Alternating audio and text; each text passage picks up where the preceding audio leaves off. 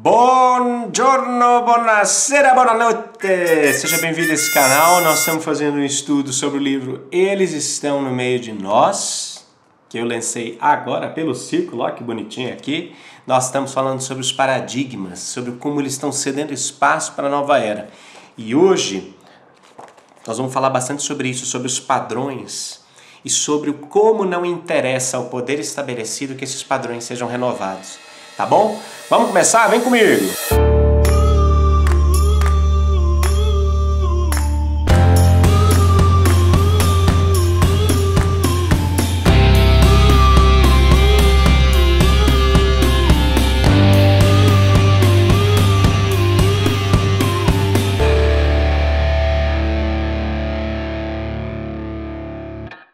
Vou direto ao ponto hoje. Em todos os tempos, o povo sempre se apegou aos paradigmas vigentes, pois neles encontrava a segurança de respostas enlatadas que calavam momentaneamente seus questionamentos mais profundos, impelindo-os à vida cotidiana sem grandes realizações. Repetimos o que aprendemos sem questionar. Reproduzimos padrões, comportamentos, trejeitos e jeitos. Nos enclausuramos numa caixa apertada de tradições obsoletas, sob a desculpa de conservar a pureza do saber humano, enquanto na verdade puxamos o freio de mão da evolução, estagnando nossa marcha evolutiva com desculpas cristalizadas como eu faço assim porque meu pai sempre fez assim. Eu faço assim porque é assim que as coisas funcionam por aqui. Está na Bíblia que foi isso que Deus mandou fazer. Ou ainda, a ciência diz que é assim que tem que ser. Uau! Uau! Uau! Claro, nós temos refletido nos últimos, nos últimos dois programas que o medo às vezes é um, é um instinto de preservação primitivo que é importante para salvaguardar a estrutura orgânica da nossa manifestação no tempo e espaço. Mas também que o medo nos enclausura em nós mesmos, ao passo que o amor nos leva ao encontro do outro. O amor nos faz viver o nós, não é? O medo ou o instinto de preservação, vamos pensar assim, das energias do chakra básico, nos faz realmente garantir e preservar o eu, o nosso próprio ego, a nossa própria sobrevivência, mas o amor nos faz ir além nos faz reconhecer no encontro do outro a plena manifestação do amor, porque em si mesmos nós não podemos viver todo o amor como é possível ser vivido. E a marcha evolutiva do planeta Terra, ela vai nesse sentido, de que o amor nos faz ir ao encontro do outro. Então há um movimento, nada é fechado, nada é enclausurado em si mesmo. Há um movimento. Agora veja, nós falamos já sobre tudo isso. Mas por outro lado, por outro lado, tem uma outra questão na, na, na chegada de, novo, de um novo jeito, de uma nova era, na superação dos velhos paradigmas, do velho jeito, da velha opinião formada sobre tudo. É o nosso conforto. além do medo, além da preservação, além de tudo aquilo que nós já temos refletido nos últimos vídeos, há o medo, há o, perdão, Além de tudo aquilo que nós temos refletido nos, nos últimos vídeos, há também a nossa preguiça existencial, o nosso comodismo, a nossa preguiça mental de pensar. Nós não queremos pensar além daquela daquela caixinha do que é tradicional, do que é seguro, do que é familiar, do que é palatável. Nós não queremos sair do conforto da nossa rede, do nosso pé de parede e da nossa moléstia, da nossa preguiça existencial. Nós não queremos sair disso. Né? Nós não queremos avançar. Isso, isso é um problema. isso é uma questão que a gente precisa realmente começar a provocar o melhor de cada pessoa na sua realidade. Eu me lembro muito de um amigo que sempre dizia assim: pensar dói, brother. Ele falava assim: brother, pensar dói. Pensar dói. As pessoas não querem pensar, não. Se você pensar, você já vai ser, ó mil vezes à frente, porque é isso mesmo, as pessoas, é, assim, é uma dificuldade de encontrar, porque na verdade nós não fomos treinados para isso. Nós não fomos treinados, nós não recebemos educação filosófica para isso, nós não recebemos uma base filosófica para começar a questionar as coisas, para nos colocar em xeque. Por que eu estou pensando assim? Nós não temos prática de meditação diária, nós não temos momentos de, de espiritualidade diário, onde nós fechamos os nossos olhos e olhamos para dentro de nós. Encaramos mesmo aquilo que nós tivermos de encontrar ali dentro, seja medo, seja preguiça, seja rancor, seja mágoa, seja falta de amor próprio. Nós não temos esse costume. Nós não temos o costume de nos reunir num, em rodas de bar, em restaurantes, em pubs, na casa dos amigos. Nós não temos o costume de nos reunir para ter conversas elevadas. Nós passamos a maior parte do nosso tempo discutindo pessoas e eventos. A vida dos outros, isso é uma pauta que nós tratamos muito bem. Nós tratamos muito bem da vida dos outros e do que os outros fizeram. Ou do que as organizações fizeram, ou do que aconteceu mas nós gastamos, ou melhor, nós investimos pouquíssimo do nosso tempo para discutir ideias, para discutir filosoficamente a razão das coisas, do porquê as coisas acontecem como acontecem. Nós investimos pouquíssimo tempo da nossa vida para realmente ter conversas elevadas que, que nos levem a acessar essas realidades e, e mudem a, a, a forma como nós agimos, ou que nos levem a mudar a forma como nós agimos, melhor dizendo. E por que, que nós temos essa preguiça mental? Porque o que é nosso é nosso, a gente quer deixar fechadinho, a gente não quer que ninguém veja, que ninguém, que ninguém toque. Porque nem nós tocamos, aí é que tá. Nem nós temos coragem de olhar para dentro de nós e nos encararmos. E ver quem de fato nós somos, e assumir quem de fato nós somos. Que nós podíamos ser melhor, que nós temos potencial para ser muito mais do que, que nós somos. Nós não queremos. Nós não queremos porque isso coloca em xeque a nossa existência. Isso coloca em xeque o nosso propósito existencial. Deflagra abertamente a nossa incompetência em cumprir o nosso propósito encarnatório. E essa é uma verdade que nós não queremos ouvir. Não queremos ouvir. Porque é muito mais confortável. É muito mais confortável fingir a ilusão dessa realidade tridimensional como sendo absoluta. Gente, outro dia vi um meme muito engraçado, era o Keanu Reeves. E ele falando assim: a verdade, minha gente, é que Matrix não era um filme, era um documentário. Matrix é um documentário. E, e é muito curioso porque, diante eu me lembro que tinha um cara na, na nave do Matrix que traiu ali a equipe do Morfeu e ele negociava com os, com os computadores ali que, que criavam a Matrix e mantinham a Matrix. Ele negociava falando: Olha, eu quero voltar para lá rico, lindo, de pau grande, cercado de mulheres e, e, e eu quero comer bem todo dia. Eu quero ter assim um dinheiro incontável durante toda a minha vida.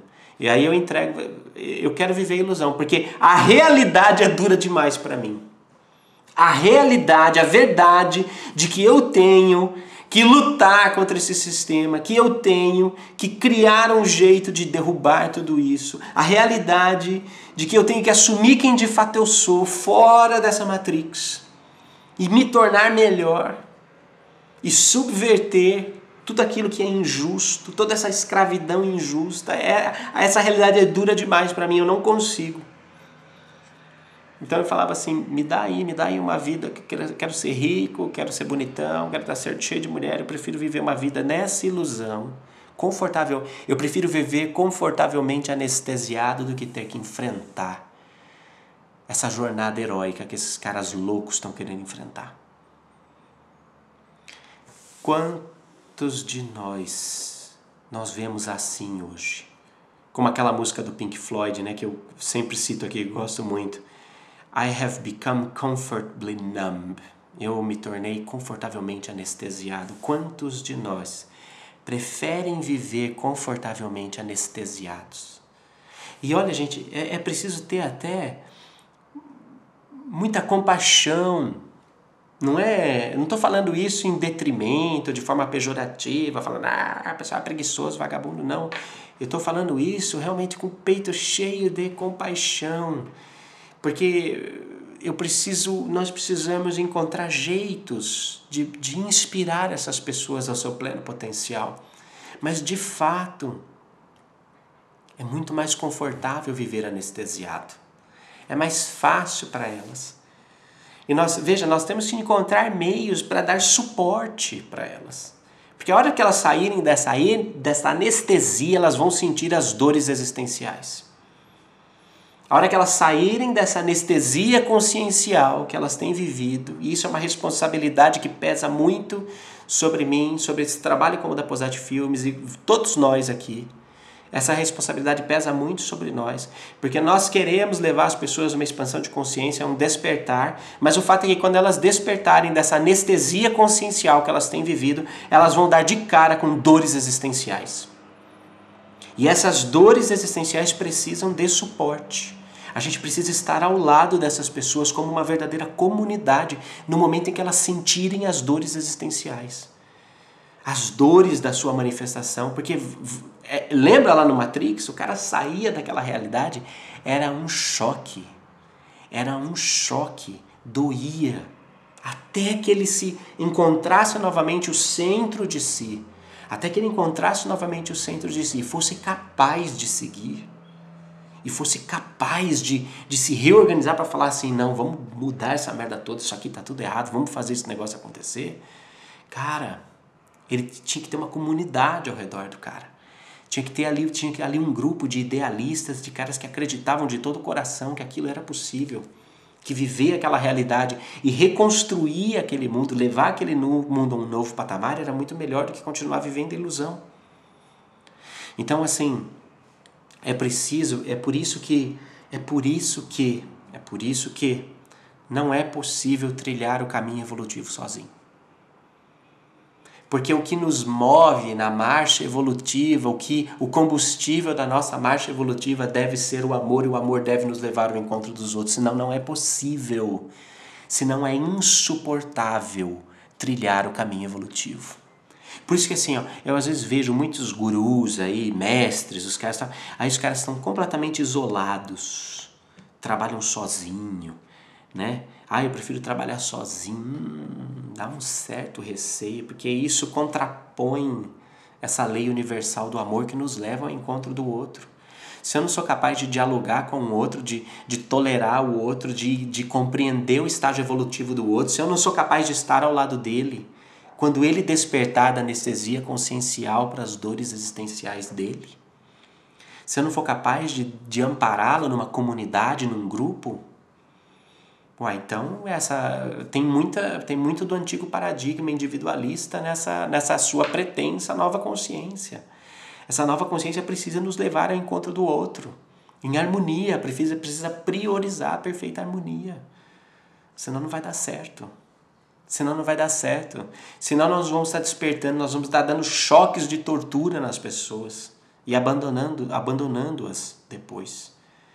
O sistema que elas conheceram não vai mais fazer sentido para elas, mas se a gente não puder oferecer uma comunidade onde ela possa viver pelo menos fragmentos do novo sistema que virá, baseado no amor, na fraternidade, na justiça, na harmonia, na empatia plena, com todo, todas as consciências, como é que eu vou fazer com essa pessoa? É por isso, gente, que, sobretudo por isso, que nós, nós começamos o trabalho do círculo, porque no círculo nós temos vivido essa comunidade. Nós temos tentado reunir, juntar mais as pessoas, ainda que a gente ainda só consiga se encontrar nos eventos, mas é preciso, é preciso estar em comunidade. É preciso se amparar. E está tudo bem. Gente, está tudo bem. Quando você precisa ter ombros amigos ao seu lado, quando você desperta da anestesia consciencial para as dores existenciais, você precisa. Senão esse é um movimento que é, que é inviável. Senão aí mesmo é que a gente vai, como, sabe, tipo, empurrando assim para trás. Você já viu gato, quando vê que vai tomar banho, começa a empurrar de todo jeito porque ele não quer aquilo. Então nós precisamos desse senso de comunidade e é por isso que eu quero contar para você uma coisa.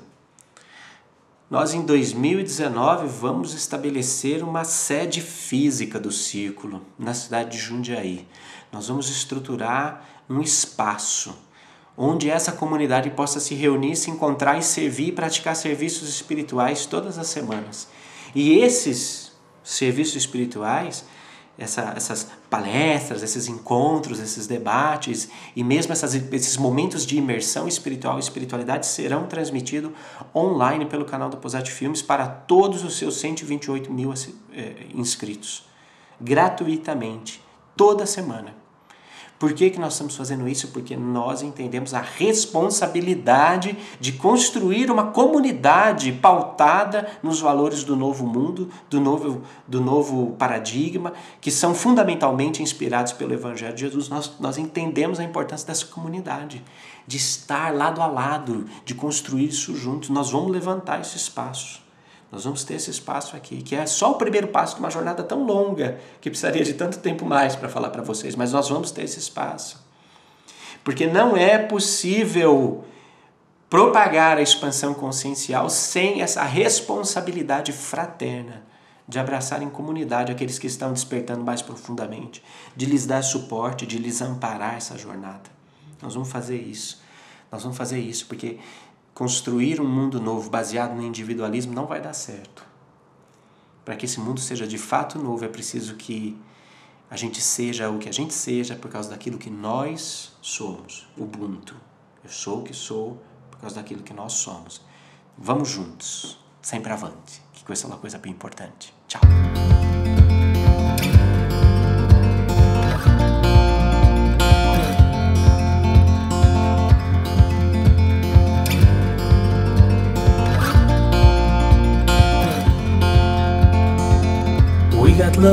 We'll never need to hide.